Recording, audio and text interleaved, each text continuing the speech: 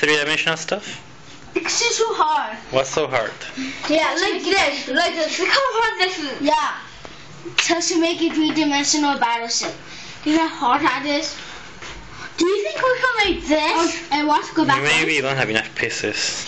Do you think we can make a three-dimensional space station or Chinese place? We can make this.